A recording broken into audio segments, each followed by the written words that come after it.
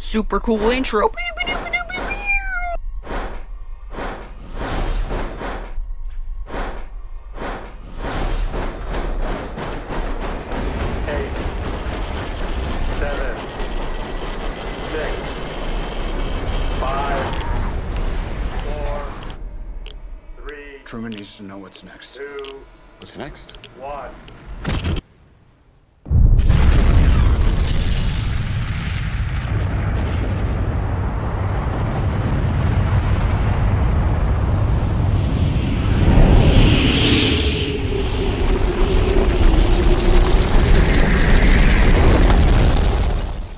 What's up guys, Monty428 here, and today I'm going to be showcasing the Oppenheimer build.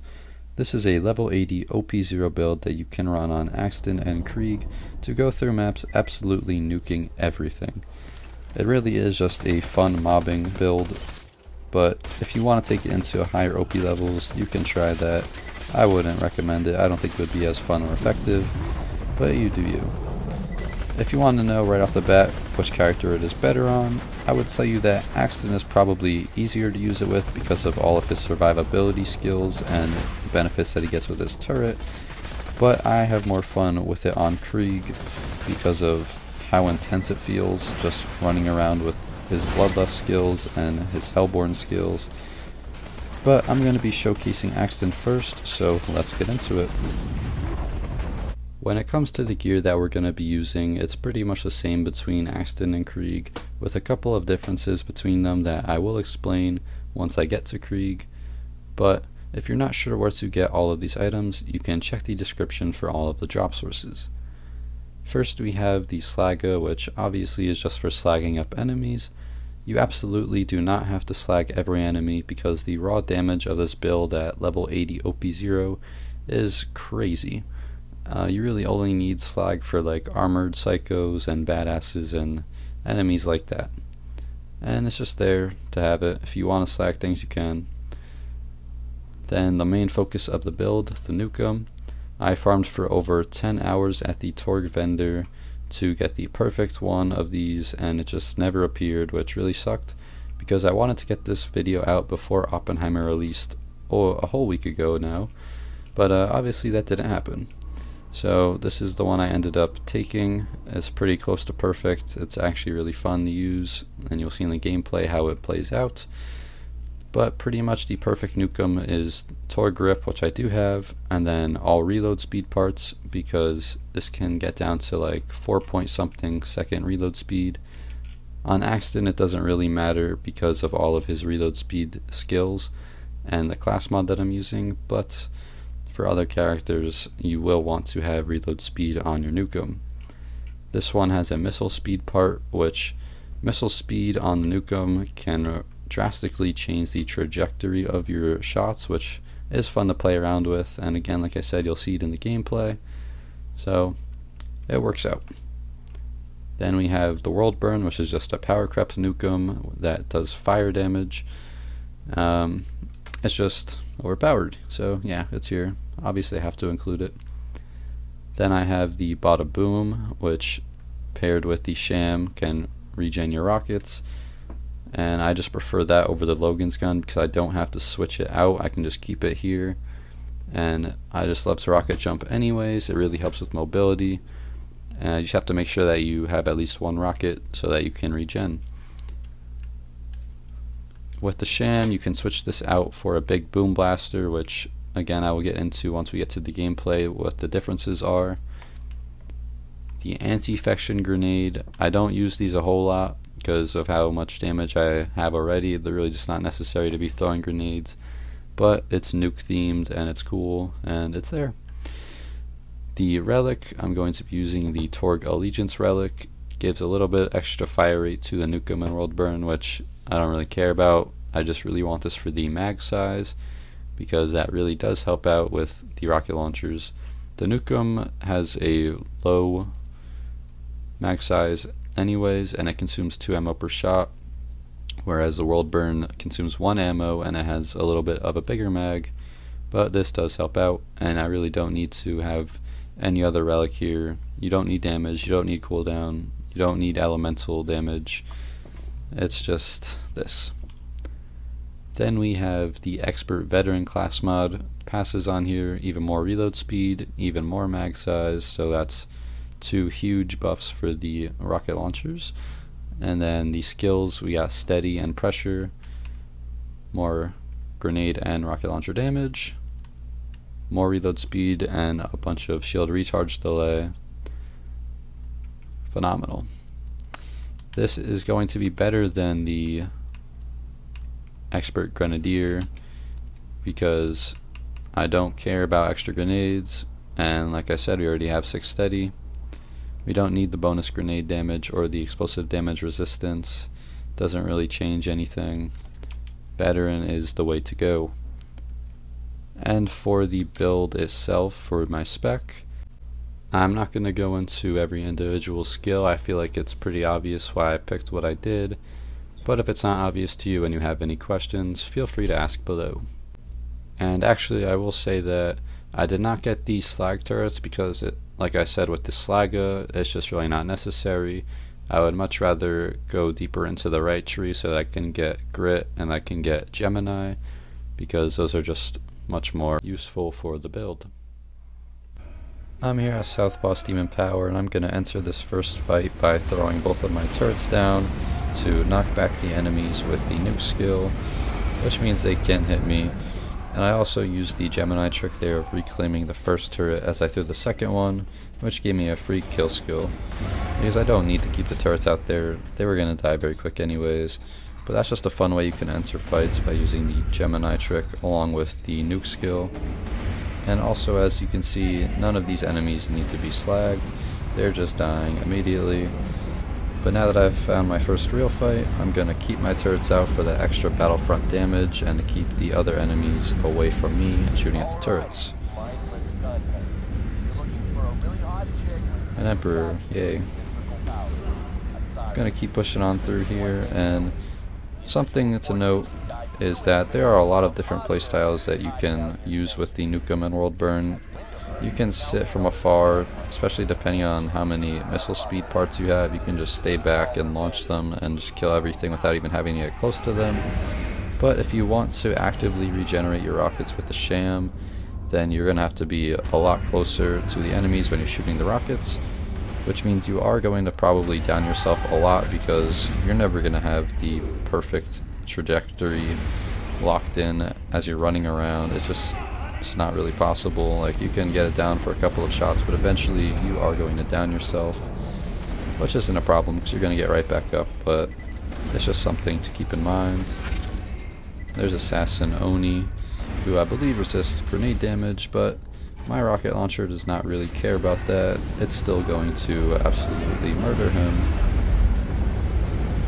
I got a little confused here as to where he was because of all of the screen pollution which is one more thing to note because this build on both Axton and Krieg will have a lot of screen pollution, but if you are a diehard BL3 fan, I'm sure you won't mind that.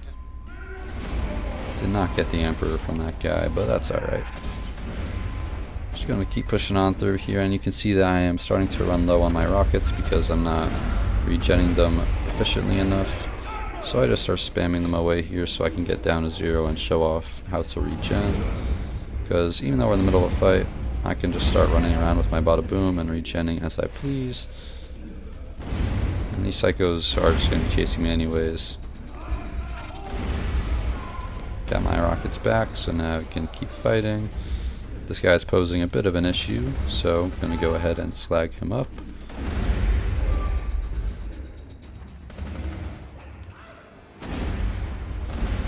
Just so much damage there. That's really just not fair for these guys. You throw an anti-fection. You can see it just burns them alive. Just never stood a chance. Got the next assassin here, and anti-fection is still out, so that guy's dead in the back. Assassin thought he could push up on me, but I'm gonna take his Emperor and keep pushing on through. I've been observing this Simon Lilith since the firstly, and here's me showcasing a little more of the range of this Nukem, because it basically just shoots straight ahead. There's really no arch on it. Gonna use Gemini again there for some extra speed. Can't even see what's on my screen there.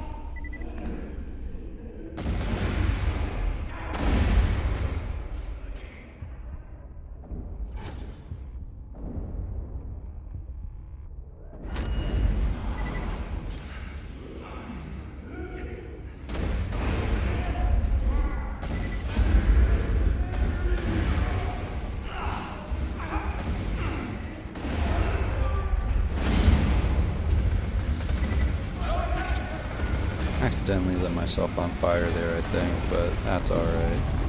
That guy is gonna die from that anyways. As you can see, I'm really not going down a whole lot unless it's my own fault. Because I have so much shield recharge that it, my shams will never go down. Unless, again, I blow myself up.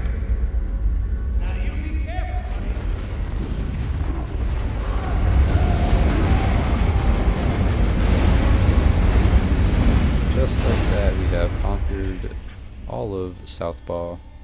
Oh, Got a three dog for that. evidently don't know how to listen. I'll say it again. Now taking a look at Krieg, you will notice that the world burn comes before the Nukem in the slots, and that is because while Krieg does benefit from explosive damage, he much more greatly benefits from fire damage from his skill trees, so I tend to use the world burn more than the Nukem. I do have this Harold here, which does not belong here. I just used it for second winds when I ran out of ammo because I did not transfer my Bada Boom to this Krieg, and I just didn't want to go through the hassle at the time. I don't know, it didn't really matter. But what I used for rocket regen was this Kerblaster, which did suck. If you have the patience and are safe enough, it does work, but it's not fun.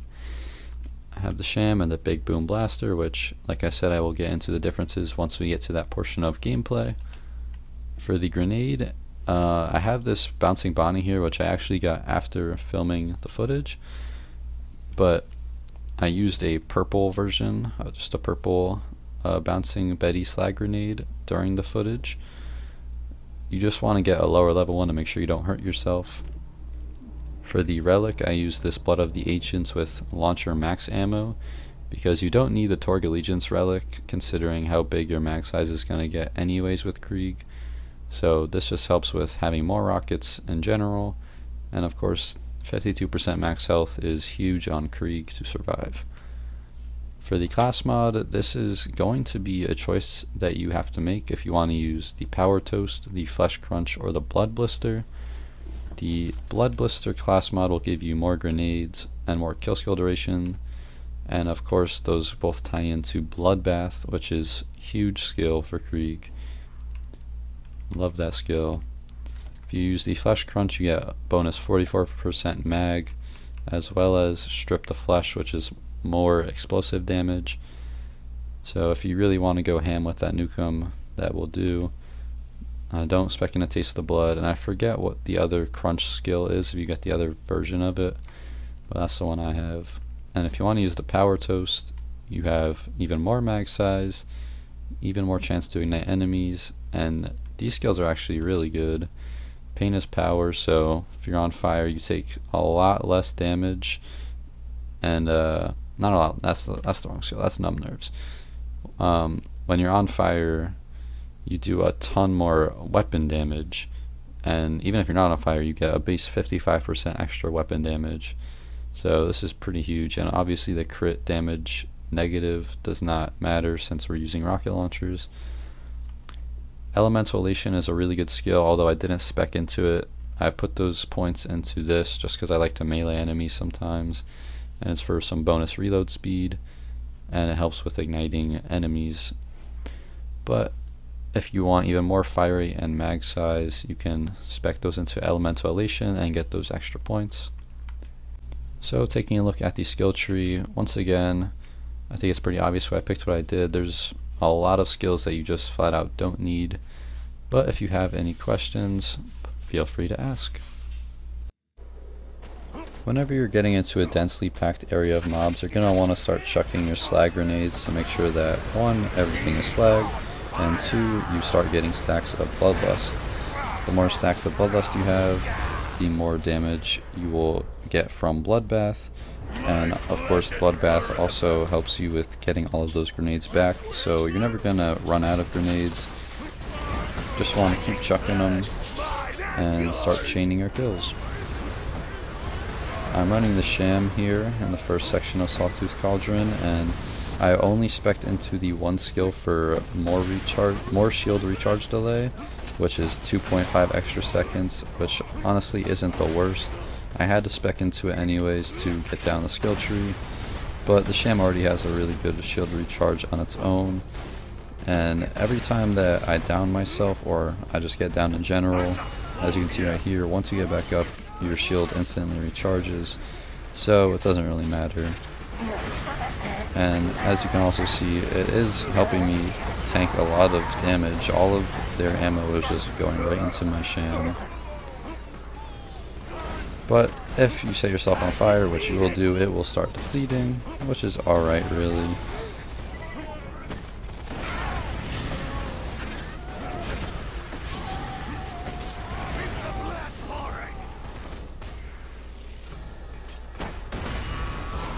As you can see there, even though it doesn't seem like these rockets should be hitting me sometimes, it still will down me and give me a second wind at the same time. This happens a lot more on Krieg than on Axton, just because of how much more in your face you want to get with Krieg.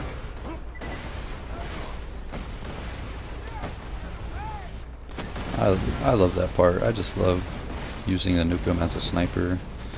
That's fun. And chuck a couple more grenades and just snipe on out.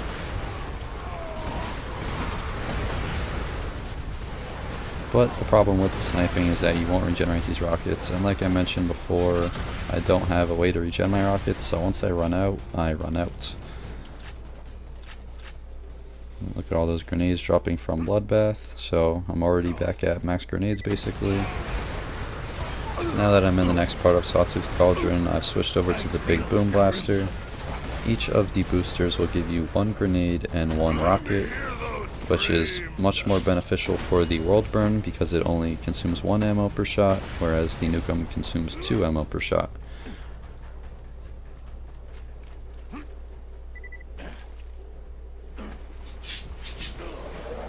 You still have to be really careful with your shots though. You don't want to just be going ham or shooting off all of them at once because as you will see with this little fight here I have with these threshers, I'm at zero capacity and I'm not getting any of these boosters. So I'm not regenning any of these rockets that I'm using to kill them. It does seem like it would be a pretty cool interaction to be setting yourself on fire and as your shield burns down from the fire that activates the boosters and they will just keep popping out. But from my testing, it doesn't really seem like it works that way. It seems like it has to be enemy damage that makes the boosters come out.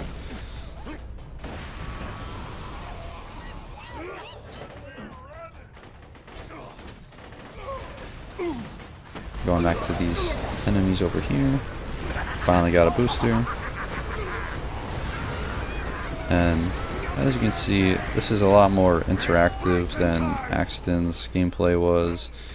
You have to keep you have to keep track of all of your stacks, and since I'm using the big boom blaster on Krieg, you have to maintain that as well. And you just go down a lot more than you would on Axton. But you also have all these fireballs shooting out. You have blood explosions going on. It's just it's just more fun to me that way than playing safe with rocket launchers.